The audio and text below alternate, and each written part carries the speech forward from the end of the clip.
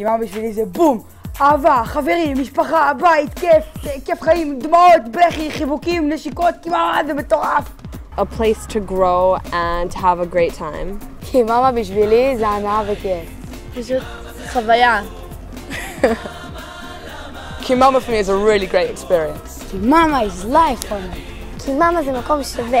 זה מדהים בעיניי. It's amazing to my eyes. מלא מלא מלא חברים. משוגע! הקיץ שלי זה רק בקיממה. יעקב שלי שלוש, ש- שלוש פינות, פינות שלוש יעקב שלי.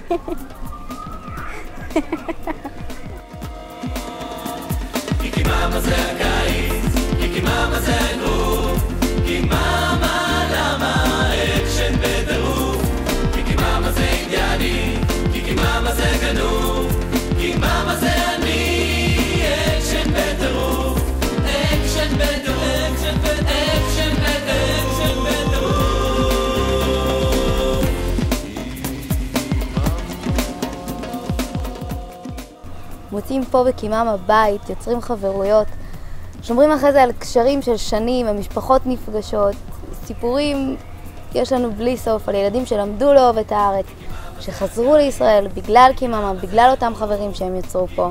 Campers from all over the world come and bringing their languages and cultures and using them to, to teach other kids and uh, to bring it as a to bring in a certain spirit to the camp is something I don't think could ever be matched in any other part of the world. לראות חבר'ה מכל כך הרבה מדינות מגיעים לפה לחדר האוכל ורוקדים ושרים ביחד ושירים בעברית ושרים אה, שירים בכל מיני שפות אחרות ויוצרים פשוט חוויה שהיא מדהימה.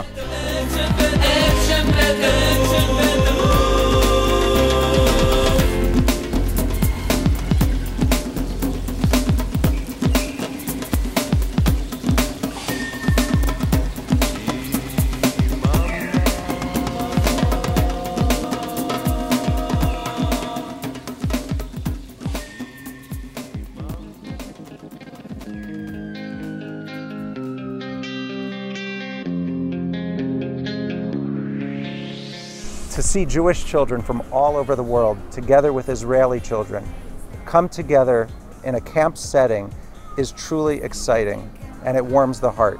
To see them having discussions about what it is to be Jewish in one another's communities and to experience living together over an entire summer. It's an intensity that can't be replicated anywhere but in an overnight summer camp.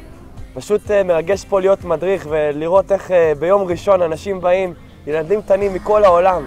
אחד מצרפת, אחד מאיטליה, אחד מארצות הברית, אחד מקנדה, אחת מטוקיו, אנשים מישראל, ולראות איך תוך שבועיים הם יוצרים לעצמם חוויות. כשהייתי סטודנט, יצאתי בשליחות למחנה קיץ אמריקאי.